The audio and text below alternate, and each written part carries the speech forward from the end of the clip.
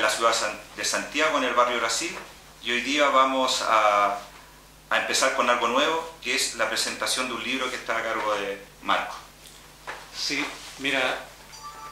eh, durante los años 79, 80, para ser más específico, durante todos los años 80, hubo un, un libro que marcó una generación, sobre todo aquella generación que estaba dispuesta a luchar contra la dictadura eh, de manera más radical, más frontal, aquellos que participaron en la acción armada. Ese libro se llamó La montaña algo más que una inmensa estepa verde. Ese libro de Omar Cabeza Lacayo, comandante sandinista, relata la historia de, lo que fue la formación, los inicios del Frente Sandinista y todo lo que significó eh, andar en la montaña construyendo este ejército que finalmente el 19 de julio de 1979 libera a Nicaragua, lo que se llamó la Revolución Sandinista. Eh, pero además lo, lo, logra concatenar con la lucha de, eh, de Sandino contra el imperialismo norteamericano. Por lo tanto, estos son parte de la historia de, rebeldía de nuestros pueblos en, América Latina. Canción de Amor para los Hombres es la continuación de La montaña, algo más que una inmensa estepa verde. Es un libro que hay que conseguírselo, hay que leerlo para poder darse cuenta de la voluntad, del, tesón con que gente como nosotros, gente como ustedes, eh, es capaz con la fuerza que es capaz de tratar de construir un camino de libertad, de independencia, de soberanía, de emancipación para nuestros pueblos. Y por lo tanto, a partir de ahora, entonces cada vez y en cada programa vamos a, mostrar libros recordando la historia de liberación, la historia de rebeldía, de emancipación eh, que han construido nuestros pueblos. Sí, me, me, acuerdo yo también de que este libro era un libro que nosotros, que era clandestino, me acuerdo que hacíamos fotocopias, lo, lo, teníamos fotocopiado, así que una generación recomendado para que lo, leamos y continuemos con eso, con esa historia del Frente Sandinista que, aprendimos a conocer en la lucha contra la dictadura. Bueno, Marco, volviendo a los temas eh, que nos convocan hoy día y que tienen que también continuidad con lo que fue el programa anterior, que tiene que ver con esto de la criminalización del movimiento social, eh, Hoy día esto ha avanzado con una fuerza bastante brutal, donde todo lo que está en la agenda hoy día tiene que ver exclusivamente con bombas, con, agentes de seguridad, con infiltrados, con ese tema. Y nosotros queremos hoy día eh, plantearnos en el análisis lo que tiene que ver cómo el movimiento social, los que luchan, los que hoy día han quedado ausentes de la política nacional, hacen una contraofensiva para poner lo que nos interesa a nosotros, que es la agenda social, la agenda del movimiento de, las demandas, de las demandas por la recuperación de los derechos, y en eso marco eh, nosotros eh, nos interesa fundamentalmente poder analizar en qué está hoy día esta, situación. la, verdad es que, como muy bien algunos compañeros han señalado, eh, si hay una palabra que pudiésemos decir eh, necesaria para eh, mostrar lo que, lo que necesitamos, es que debemos desterrorificar la política que se está haciendo hoy día. O sea, debemos volver a instalar lo que por todos lados la nueva mayoría y la fuerza de la alianza, el bloque hegemónico, ha tratado de imponer. O sea, ha tratado de imponer el terror. Ese es el plan que tiene el enemigo, el movimiento popular, las fuerzas sociales, tienen que colocar, colocar encima el plan de desterrorificación de la política. Yo creo que esa es como la urgencia, lo que requiere el movimiento social hoy para, para instalar nuevamente las demandas. Si nosotros eh, nos adentramos un poco más en lo que ocurre en el país, eh, abstrayéndonos de lo que nos han impuesto, esta agenda política, mediática que nos han impuesto, eh, nos vamos a dar cuenta que en el país hay cientos de conflictos sociales todos los días, sindicales, los pescadores, el pueblo mapuche, que es reprimido, o sea, hay una gama importante de luchas sociales que, que la nueva mayoría junto a la alianza han tratado de apagar. Eso y así han metido en lo fundamental la reforma tributaria, la reformita tributaria, eh, dando posibilidades o en un acuerdo, que ya lo hemos señalado en nuestro programa, en un acuerdo donde efectivamente no está presente el mundo social y el mundo popular, sino que están presentes en la cocina los bloques de poder y en particular los empresarios. Entonces, hay que traer nuevamente a la mesa esas demandas. Está el tema de la reforma educacional, la reformista educacional, que, que estábamos peleando todos contra el lucro y que ahora han tratado de imponer esta idea de el lucrito. O sea, ya no es el lucro, sino que han tratado de enmascararlo eh, a través de un lucrito. Y nosotros creemos de que lo que hay que retomar es la agenda que tiene que ver con los cambios estructurales que estaba pidiendo para el país toda esta movilización, todo el mundo social, eh, sobre el cual el movimiento estudiantil ha actuado como un eje catalizador de otras demandas. el cobre, la FP, las ISAPRE, el código laboral, cosas que hasta el momento se quieren mantener acalladas. La Asamblea Constituyente es un tema aparte, que ya a nadie le interesa. Hicieron gran propaganda de que se votara por ello, porque la Asamblea Constituyente, la Asamblea Constituyente y la Asamblea Constituyente. Y lo cierto es de que de eso no hay nada.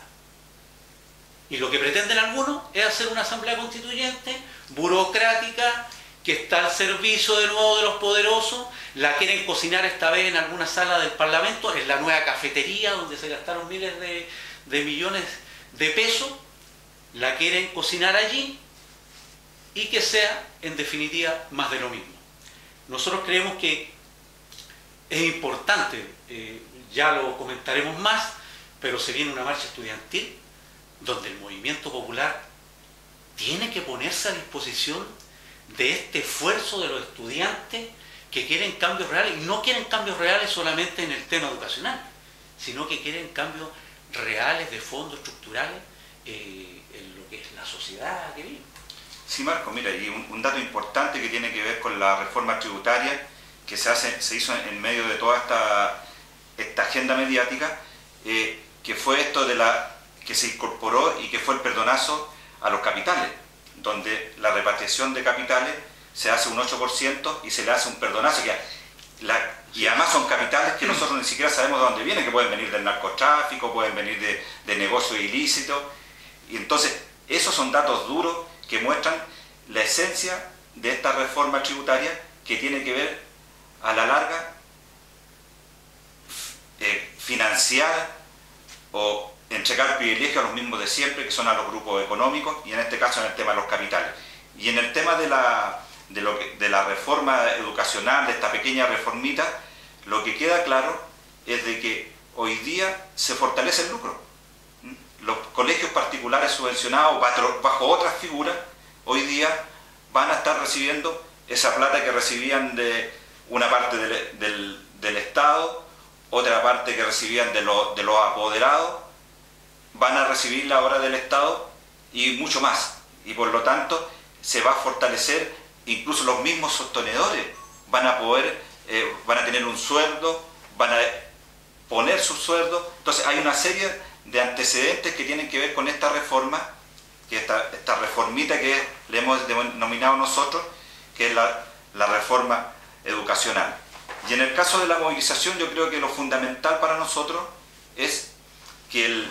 esta marcha del 9, esta marcha convocada por la CONFES y otros sectores estudiantiles, tiene que ser una marcha que ponga al centro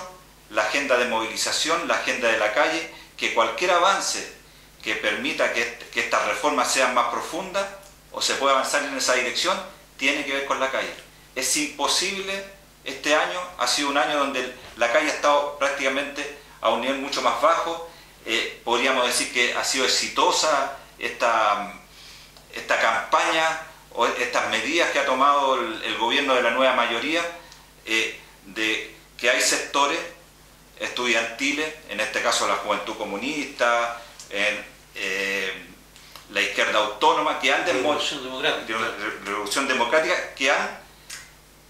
han puesto paño frío a la movilización estudiantil, cuando lo que se requería era que las reformas fueran al calor de la movilización social. Y por lo tanto para nosotros, para los movimientos sociales es tremendamente importante, para las organizaciones políticas también de izquierda, es importante que esta marcha del 9 sea una marcha en la cual todos nos pongamos a disposición del movimiento social, porque es del movimiento estudiantil, porque es, es esa movilización la que además instala la agenda también de todas las otras demandas sociales. Sí, además hay que, hay que hacer una ecuación que yo creo que es necesaria. Se planteó el movimiento estudiantil, eh, el 2006, pero a partir de 2011 en particular, eh, logró imponer la idea de que había que eh, que debían existir cambios en todo lo que significaba la educación chilena.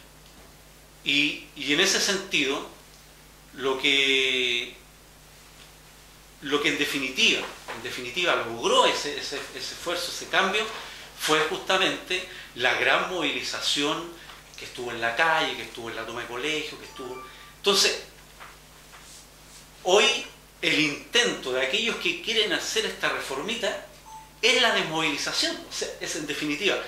para imponer esta reformita se necesita la desmovilización de las fuerzas populares, de las fuerzas sociales, del movimiento estudiantil. Entonces es evidente que lo que necesitamos es para reinstalar la agenda de cambio estructural en la educación y en, todas las demandas que tiene el movimiento popular, es de nuevo, vamos a tener que usar la herramienta de la calle. Eso por un lado. Por lo tanto, yo diría de que hay dos grandes acontecimientos que van a ocurrir en octubre.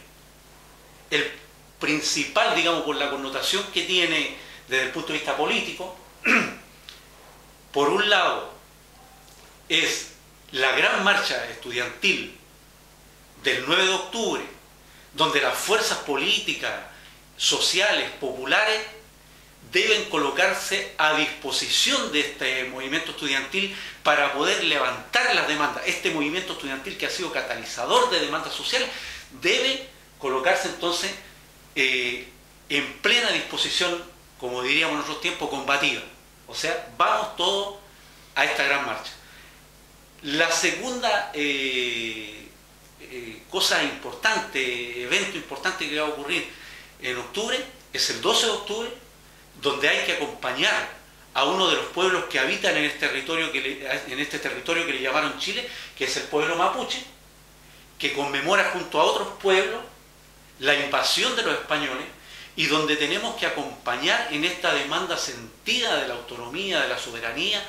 donde permanentemente hay una represión sobre este pueblo y donde nosotros creemos que es importantísima nuestra presencia, la presencia del mundo político, del mundo social, de los dirigentes, amigos, que puedan estar y apoyar la demanda del pueblo mapuche. Somos pueblos hermanos que convivimos en un territorio y por lo tanto que es necesario de que esta demanda, esa fuerza, ese apoyo, esa solidaridad se haga presente el día 12 de octubre. Sí, y otro antecedente en, en Ercilla, estos días había una represión tremenda al pueblo mapuche, es un pueblo que está constantemente en lucha y va nuestra solidaridad para los hermanos mapuche en Ercilla y a todos los que luchan en el territorio, en los territorios del sur por recuperar sus tierras. Bueno, hemos concluido una parte de, lo que es el programa de hoy para pasar más al invitado que en unos instantes estará con nosotros.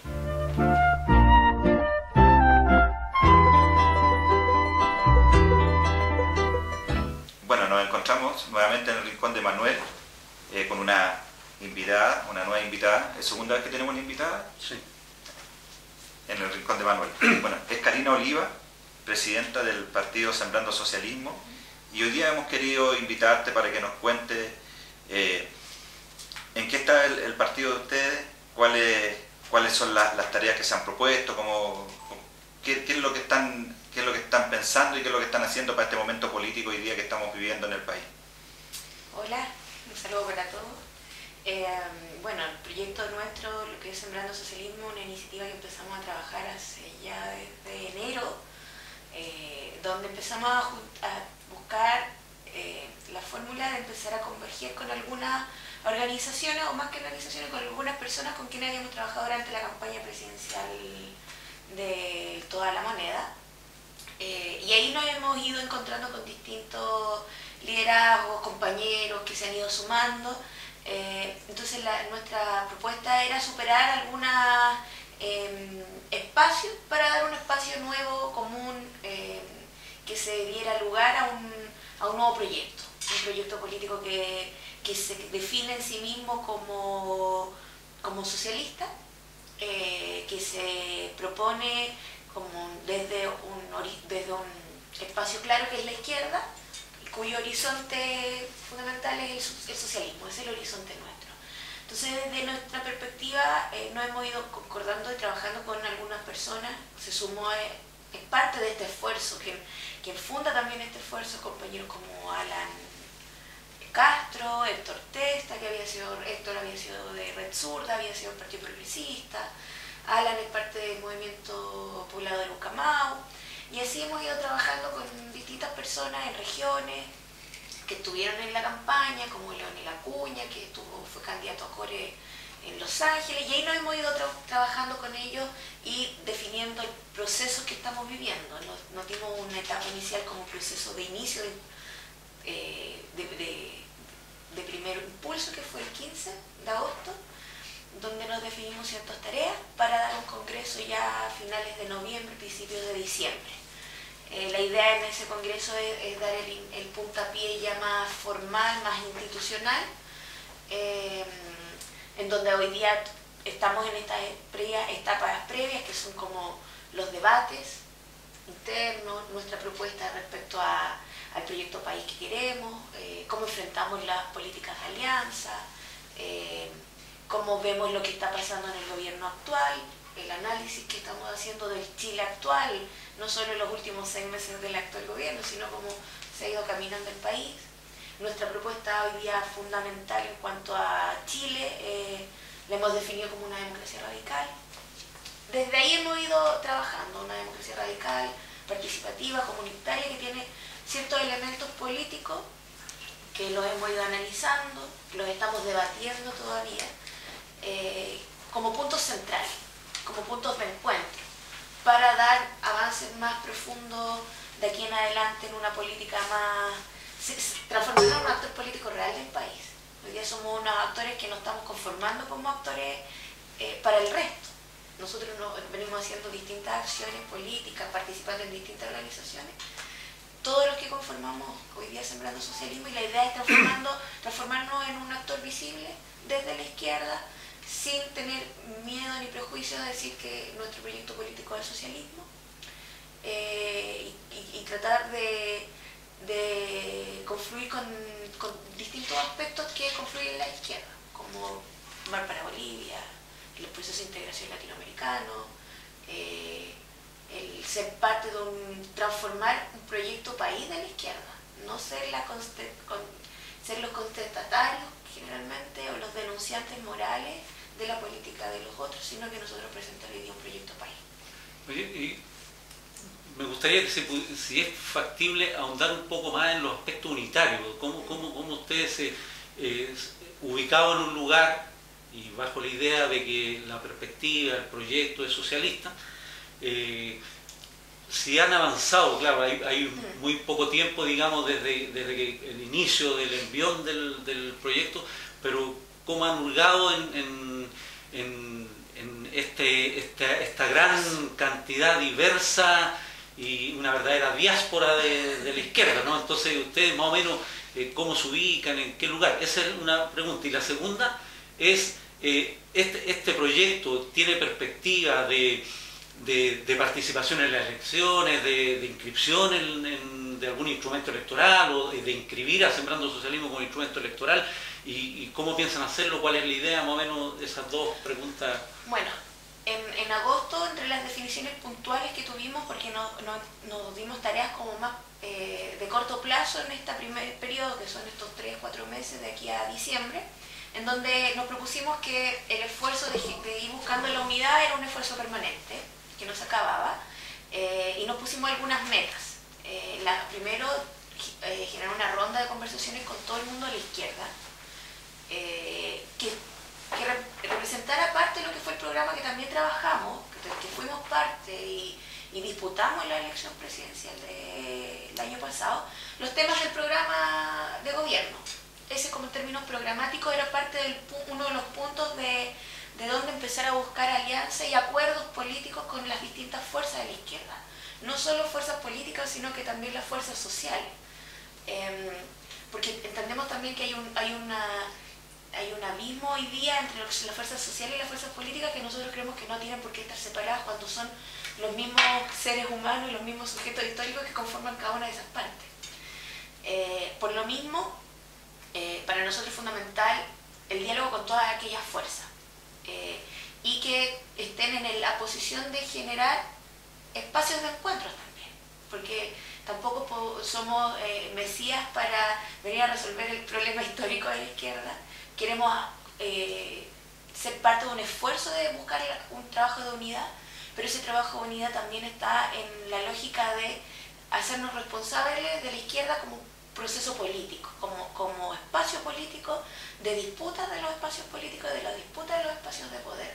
No solo como la izquierda, como una definición política moral,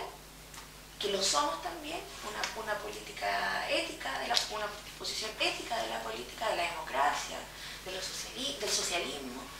eh, pero a la, misma, a la vez también un referente político en cuanto a las definiciones que, por ejemplo, viene con la segunda pregunta. Para nosotros es importante entrar también en lo que son las disputas de poder, porque sentimos que no, no, no es excluyente de un proceso político. Hoy en Chile las condiciones eh, políticas y sociales, sobre todo, la ciudadanía, el, pueblo, está en un proceso de completo eh, marginación de las tomas de decisiones. Y en esa marginación también estamos nosotros. O sea, a nosotros nadie nos pregunta si estamos de acuerdo con la reforma vocacional, con el presupuesto del próximo año. Ah, como somos parte de la ciudadanía, de este pueblo que está siendo eh, políticamente por un sistema político que, que es legitimado desde la dictadura, somos parte completamente extraña y ajena.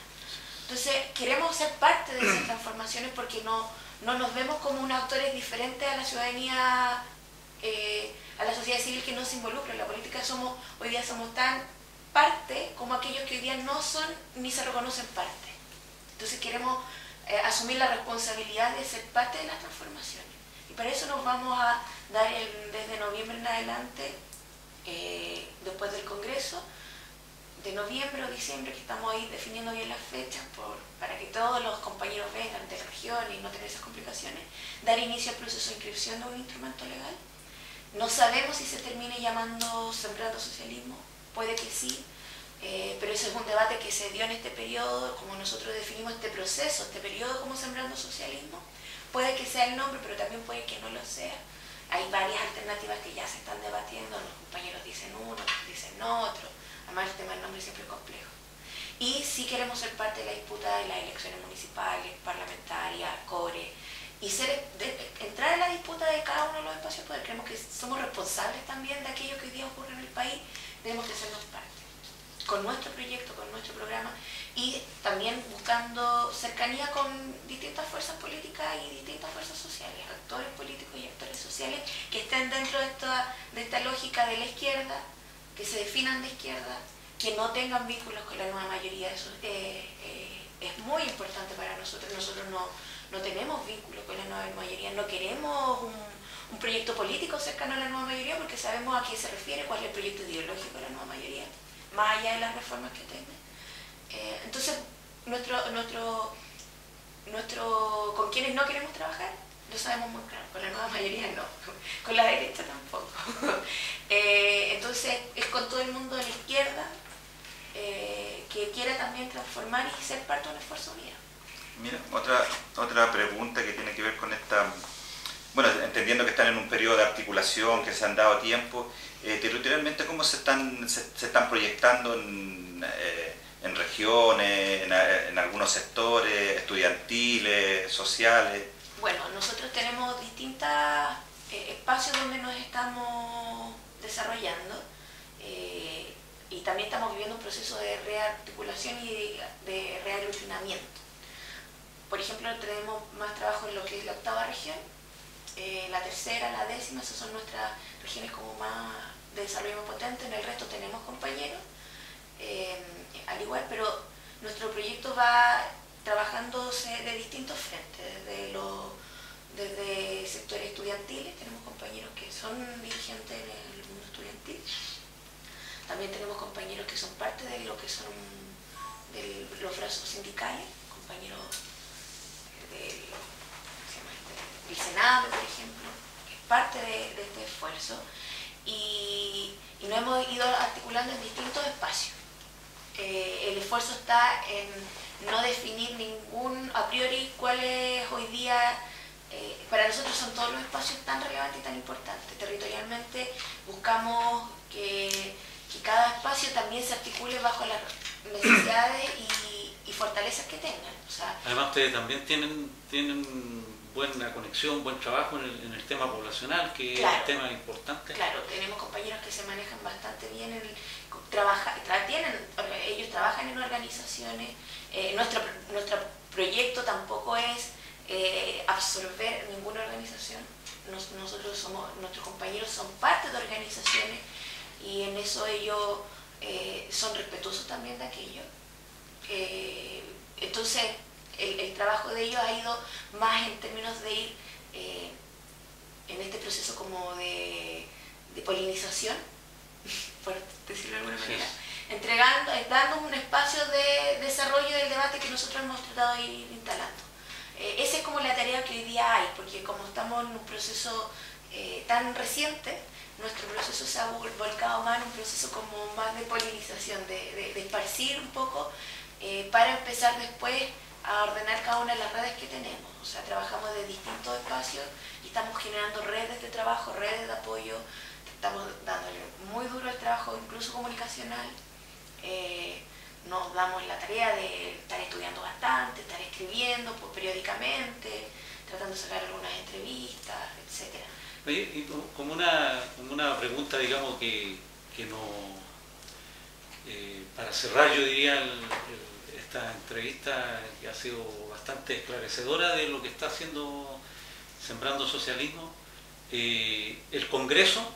eh, es un Congreso más interno, van a haber invitados de, las distintas organizaciones políticas con las que tú me decías que tenían más cercanía o con los que intentan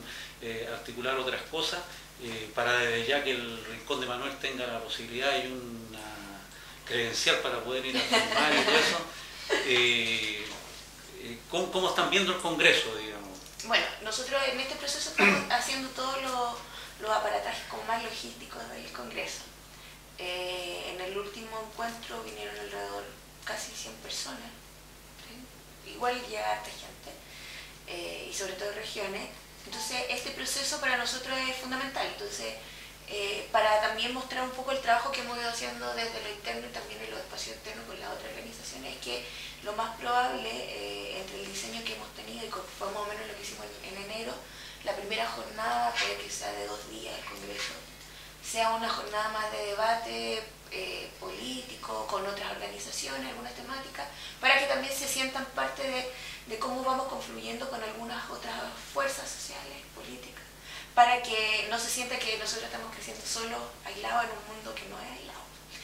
Eh, y de ahí dar un paso más a lo que al otro día un, un debate más en la lógica interna, eh, que tiene que ver con las definiciones más políticas, estratégicas, el, el diseño de la inscripción, el diseño de lo que son lo que viene para el 2015, que ya se acercan después las elecciones municipales, que es un año que se va a pasar muy rápido.